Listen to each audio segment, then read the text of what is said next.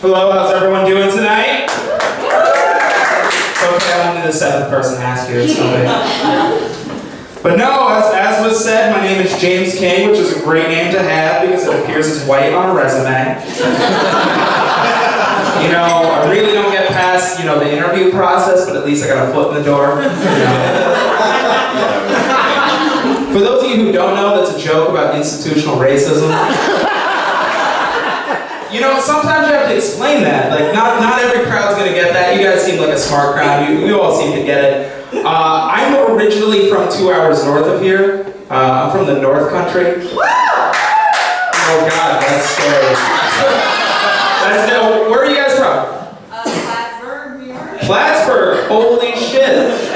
One of the only town that has an active KKK group in New York State. I mean, it's okay. I'm not assuming you're in it. I mean, you made it down here, okay. But no, I mean, I'm, I'm from I'm from Port Henry. I'm right off Lake Champlain, uh, the middle of fucking nowhere. You know, where the where the number of brain cells and the number of teeth get really close and really small. That's that's the area I'm from. And uh, not everyone there gets jokes about institutional racism because they've never seen a black person, so they don't get it. And uh, I told that joke in a bar. I was doing I was doing an hour show there, and I opened with it, and it poorly that I said it a second time. That's how poorly it went over. Uh, so, and I told I told my fiance before the show, I was like, yeah, I'm gonna open with this joke, and she tried to tell me not to do it. She was like, James, you realize that like no one, no one in the North Country knows what institutional racism is. And I said, yeah, well, no one can spell institutional racism in the North Country. I'm still gonna do the fucking joke. But no, speaking, speaking of race, uh, I had something very important happen recently. I finally found out Justin Bieber stopped trying to be black. Oh, that's so exciting. Has anyone noticed that? Justin Bieber stopped trying to act black? Is it- oh, I'm the only one up on this. Well, I'll, I'll, I'll, I'll, I'll let you guys know. The reason I know is Justin Bieber just came out on his new album. He has a song called Sorry. Have you guys heard Sorry? It's on the radio a lot. Uh, the reason I know Justin Bieber is no longer trying to act black is because black people won't apologize for anything. like, we won't apologize for shit you catch us doing. And I, I have examples. Anyone know the song It Wasn't Me by Shaggy? For those of you who don't know, basically the entire song is him cheating on someone. It's like, oh, she caught me, she caught me cheating, what should I do? I just say it wasn't you. What? Even caught me on camera, wasn't me. You know what's not in, the, in, in that song at all? Anywhere in the lyrics? An apology. O.J. Simpson. He didn't apologize for shit. In fact, he wrote a book about how he would have killed the people he did if he did it. You know what's not in the author notes of that book? An apology. Uh, something you're not, probably not a lot of you are going to know about this, but uh, Meek Mill. Meek Mill just got a lot of legal trouble maybe a couple months ago. Uh, he's being drug tested because he's on probation, and he hands them a cup of water. He hands them a cup of water. And he says, oh, but no, I've been taking these workout supplements. That's the reason my piss is like clear and, you know, not warm or anything. And you know what? You know who was under house? Meek Mill. And you know what he didn't give them in court? An apology. Black people aren't apologizing for shit. So thank you, Justin Bieber, for trying to trying to stop acting black. That's great. I'm excited about that. Speaking of music, I brought this guitar. Uh, you know, I'm a very long-winded person. I don't know if you can tell that already. I talk a lot. Uh, but you know, the people who are the worst at that are musicians. Musicians don't know when to stop. And there are so many songs that I hear on the radio or just have heard in my life that are like three minutes, four minutes, five minutes. You can end most of these songs in 30 seconds. So that's what I'm going to do for you. This is how popular a song should have been.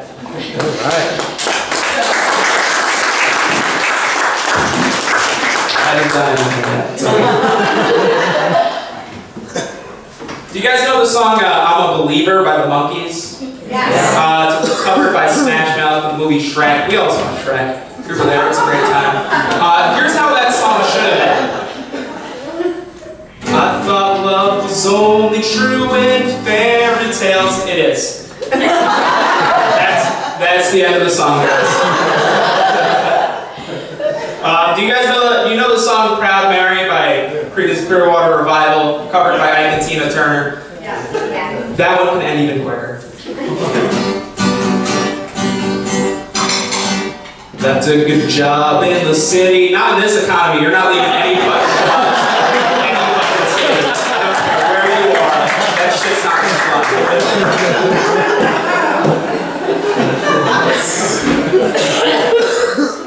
Jumper by Third Eye Blind. Anyone?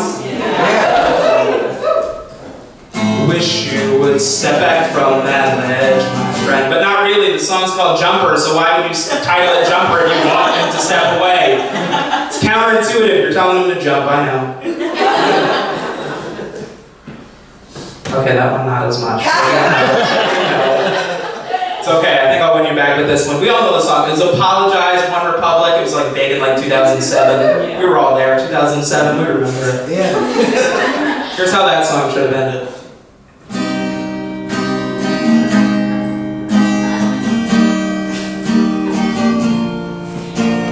Holding on your rope got me 10 feet off the ground. And that was the last time I ever visited the South because it's really bad down there.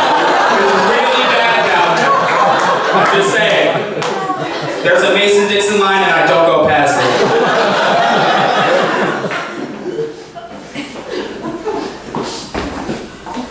Here's probably, I'm, I'm assuming every, if you have a pulse, you should know this song. Uh, Don't Stop Believing, Journey, anyone? Yeah. Okay. We all have pulses, that's good. Uh, this one's a little longer, I'll warn you, it's a little longer, but it's how it should end.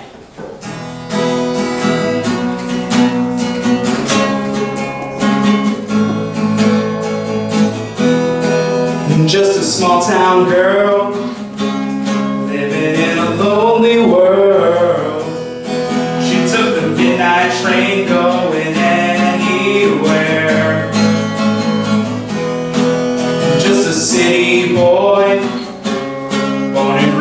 South Detroit.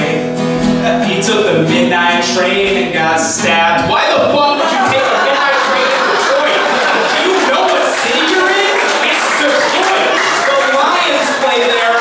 There's a reason that people don't go to Detroit. Don't take a train at midnight. Oh my god. I'm just saying that song should have ended it should end. Uh, it's actually a group of songs. Here is how every Pitbull song should end.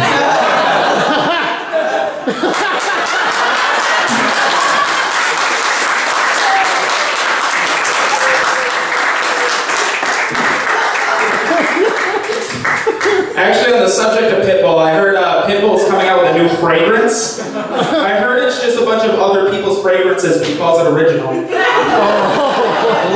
Yo, until Pitbull heckles me, I'm still gonna do these jokes. But no, um, actually, uh, I do have some sad news that I'd like to share with you guys. Uh, I no longer have a girlfriend. Really sad. Yeah, I mean, it is kind of sad uh, because I no longer have a girlfriend. Now I have a fiance. Thank you, thank you. Thank you. I proposed, that's I proposed back in December. I proposed at a really weird time for my relationship. Like, my fiance is Jewish, and I'm a sad sack of nothing, but I celebrate Christmas.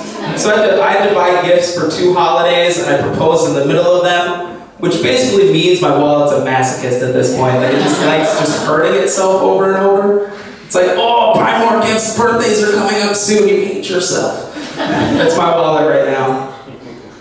But no, uh, it's it's being engaged is exciting, but it's a little weird. Like now we're following like a relationship trajectory. You know how it starts? It's like girlfriend and fiance, wife, strippers, divorce, self-love, and death. That's how it goes. I mean, I'd ask my dad, but I don't know him. So. I, all I'm saying is my biological father's Ugandan, which makes sense when you look at the name of the country, Uganda. You know the worst part is like I knew that for like five years that he was Ugandan, and it took me like three of those to write that joke. It's a sad part of that. But no, uh, no, it's very exciting being engaged. Uh, I think one of the weirdest parts of being engaged though is when I was looking for rings. Looking for rings was difficult. Uh, but I did finally settle on a nice one. Like it has a nice, it has a nice diamond on the outside. Uh, but on the inside, apparently there's a contract that says I don't get blowjobs anymore. I guess, I guess it's on the inside. I didn't, I didn't see that in the reviews. I might just return it when she's sleeping. I don't know. I can't say that she's here. uh, but no, I mean that's that's what's going on with me. Uh, anything else? There's something else I wanted to mention to you guys. What other joke should I tell you? Well, I, I would tell you the joke about Helen Keller with a stuffed nose, but it's almost senseless. Okay, my name's James King. Before I get off the stage, though, I would like to remind you, uh, if for any reason there was something I said that makes you want to come up to me and talk to me after the show and like explain something, or if you had a problem with anything I said, I just want to let you know one thing right off the bat. Black people don't apologize for anything. Thank you guys. My name is James King.